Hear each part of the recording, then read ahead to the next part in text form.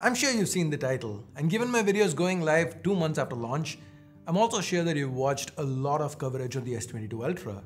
So what do you think that one major issue I'm talking about is? Do you think it's throttle gate, battery life, or something else? Leave a comment down below right now and let's see if you can get it right. Don't jump to the end of the video, be honest, and let's see if you can predict what is that issue that I'm going to be talking about. Because I think I do have a unique take on the situation.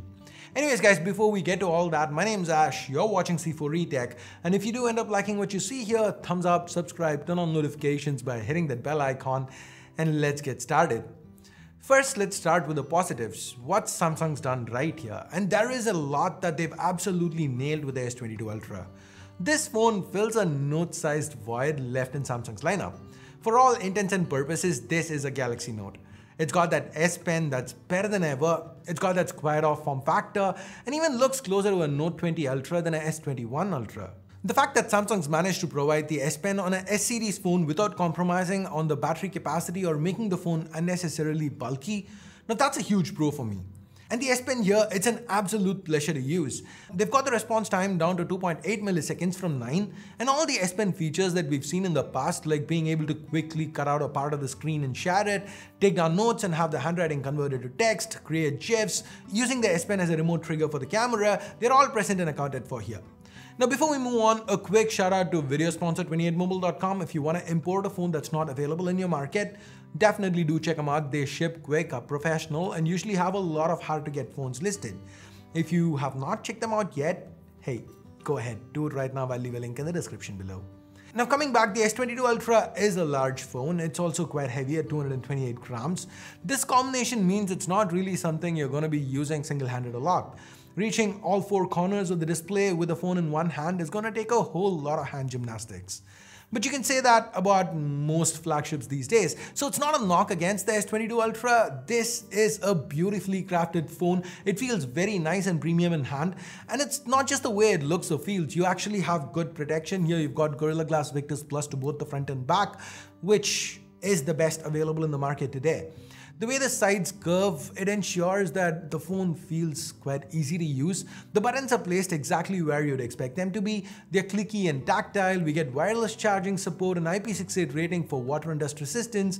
And the weight, it's quite evenly distributed and overall the phone feels very well balanced. I also happen to be in the minority with respect to the camera array to the back. I've seen a lot of people say that this kind of takes away character that the S21 Ultra had, but to me, I love how minimal it makes the back look. And the availability of green and burgundy as color options mean it's not bland, but just minimal. A royal, refined look, if I might.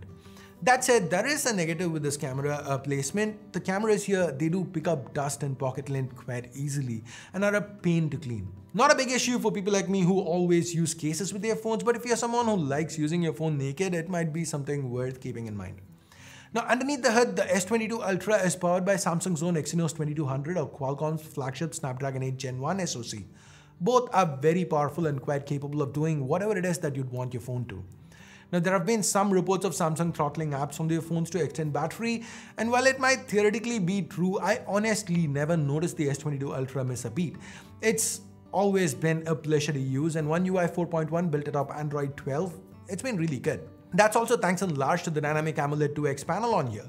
The S22 Ultra sports a beautiful 6.8 inch display. This is the best panel Samsung has ever produced and given almost every major flagship today sports a Samsung AMOLED panel, this is by far the best display you're gonna find on any smartphone today.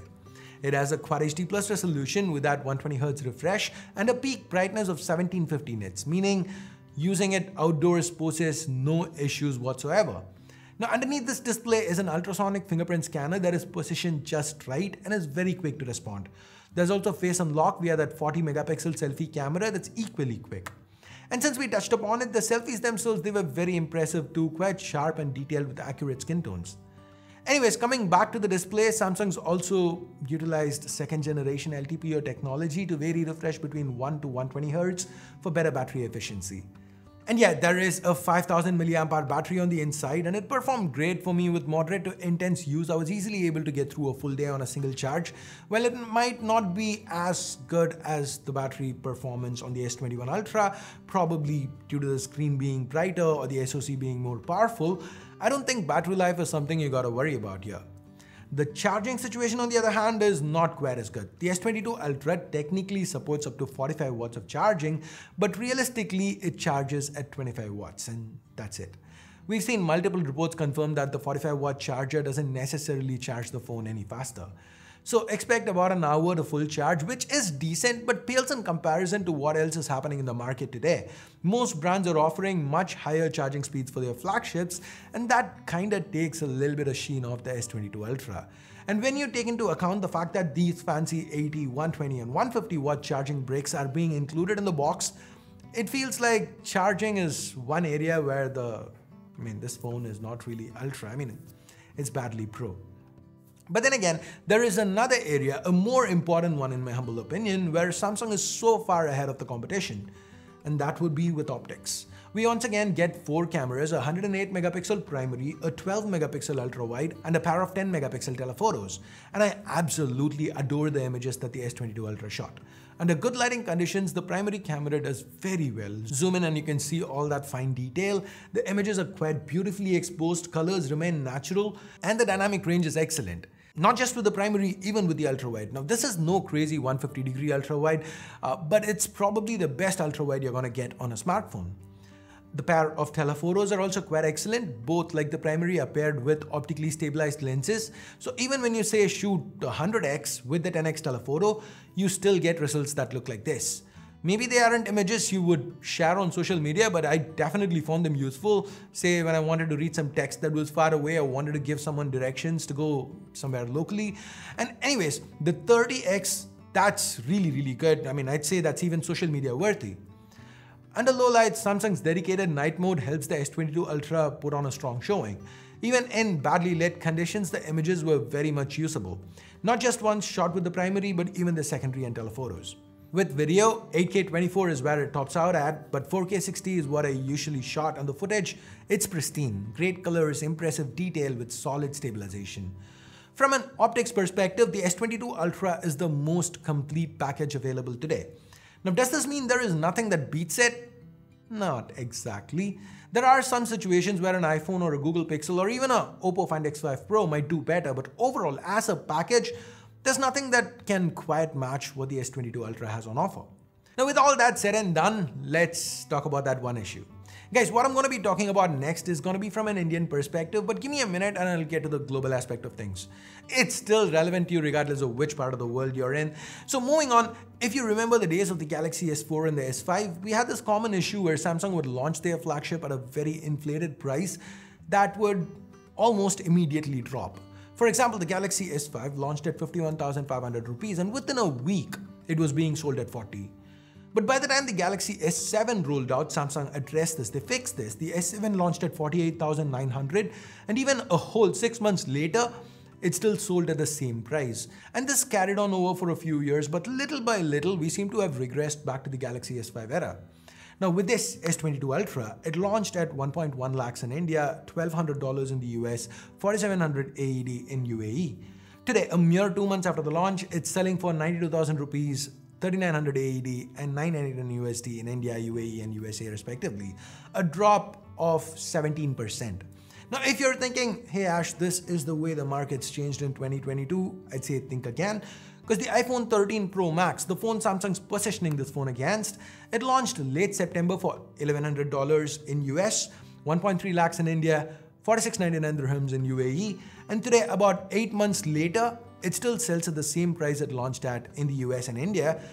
Uh, in the UAE, it's dropped a little. You can get it for 4200 but even that's just an 8% drop over 8 months compared to the 17% drop we've seen with the S22 Ultra in just 2 months.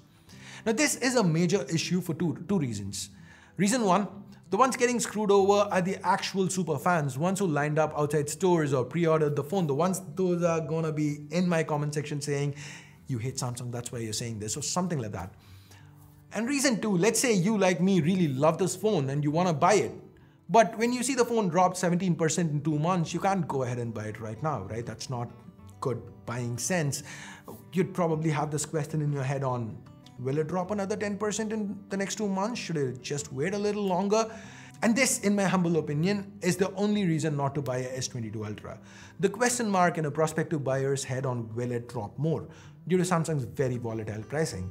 But if you are okay with that gamble and want the best Android has to offer, or if you're watching this video at a time where the prices have stabilized, the S22 Ultra is a no-brainer. It's an amazing phone that though I paid a lot more than what it sells for today, I have no regrets buying. It's the best experience you can find on an Android phone today. And that is my take on the Samsung Galaxy S22 Ultra. What do you think about this phone? What do you think about my take on it? Let me know in the comments below. And with that, we arrive at the end of today's review video. Thumbs up, thumbs down based on whatever you felt about it. Subscribe, turn on notifications, hit that bell icon if you haven't yet. And thanks for your time. Thanks a lot for watching. Until next time, my name's Ash. You've been watching C4E Tech, and I'm signing off for now. You guys have a great day. Bye-bye.